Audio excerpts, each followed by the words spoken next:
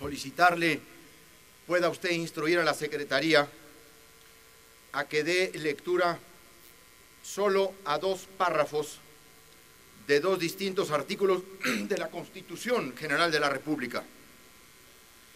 Quisiera pedirle que pudiera leer el segundo párrafo del artículo 29 de la Constitución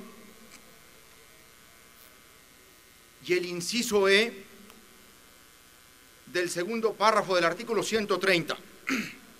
Con mucho gusto restablece.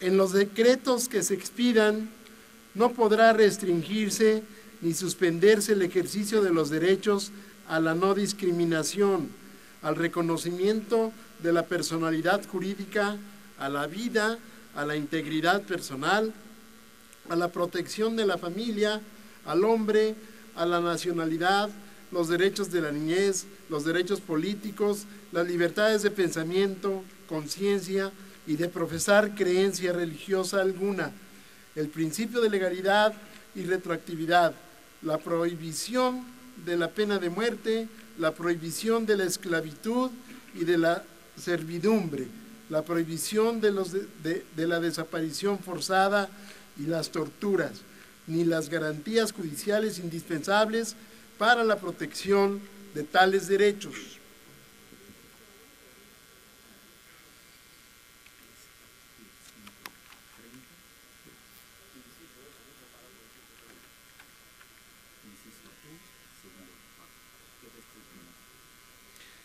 Queda estrictamente prohibida la formación de toda clase de agrupaciones políticas cuyo título tenga alguna palabra o indicación cualquiera que la relacione con alguna confesión religiosa.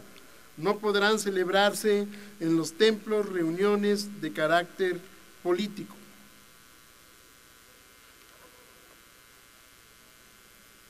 Gracias, señor presidente, señores, compañeras diputadas, compañeros diputados.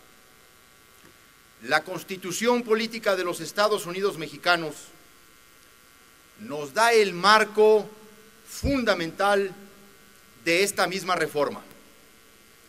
El 29 de la constitución que reformamos, artículo y reforma que ha sido altamente ponderada en esta legislatura como de las de mayor calado en términos de reformas constitucionales, estableció para el legislador, para el Estado mexicano, el mandato fundamental de que no pueden restringirse en forma y modo alguno las libertades de pensamiento y de conciencia.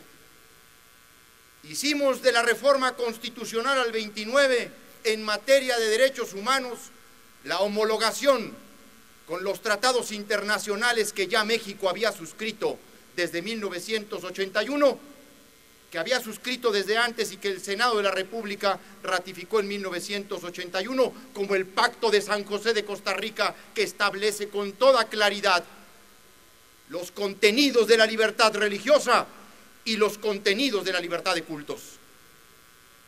No es una discusión que tenga que ver con religión alguna no es una discusión que tenga que ver con iglesia en particular, menos es una discusión que tenga que ver propiamente con asociaciones religiosas. Estamos hablando de un derecho humano fundamental, la libertad de conciencia, que entraña la libertad de creer o no creer, la libertad de asumir un tipo de relación con Dios a partir de un reconocimiento de su existencia, pero también es un derecho para definir una no relación a partir de la incredulidad. El 130 es el artículo que limita a hacer de la religión, de lo religioso, un acto político. Porque efectivamente cuando el Estado vuelve oficial la religión, no solo atenta contra el derecho de libertad de conciencia, de libertad de creencia de los demás, el Estado se agota. Esa es la verdadera laicidad.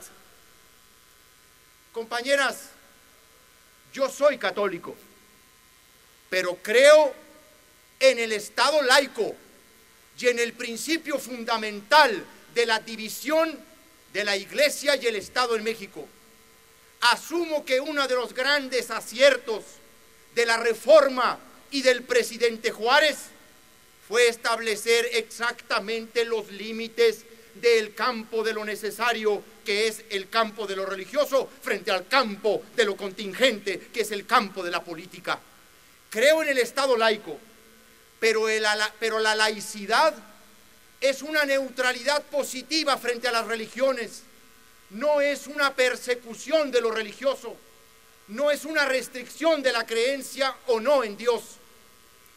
La laicidad es la imparcialidad que el Estado debe mantener frente a todos aquellos que toman una decisión de creer o no creer. Creo en el Estado laico y precisamente porque creo en el Estado laico afirmo que esta reforma no atenta contra la esencia del Estado laico ni vulnera el principio de división de la Iglesia y el Estado. Puede haber interpretaciones, extrapolaciones, puede haber incluso aquí descalificaciones a las creencias que tenemos otros. No prestigia distorsionar y distraer el sentido de este dictamen y de esta discusión. No es un tema de religión, compañeros, es un tema esencial de derechos humanos, de modernización, de homologación de México con el mundo democrático, en donde para que la libertad de conciencia sea plena, debe ser cabal la libertad religiosa. Y para que la libertad religiosa sea completa, debe haber libertad de culto. Dejémonos de esas rémoras decimonónicas del jacobinismo trasnochado. México tiene que mirar en materia de derechos humanos como mira el mundo, respetando a los hombres que creen y a los hombres que no creen. Que nadie se avergüence de creer, pero que todo mundo sea respetado también cuando no cree.